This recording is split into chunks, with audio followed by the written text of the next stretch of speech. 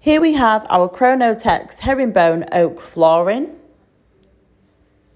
It is a light grey wood effect. It's 8 millimetres thick and 133 millimetres wide. It's 665 millimetres long. It's a click lock fitting system.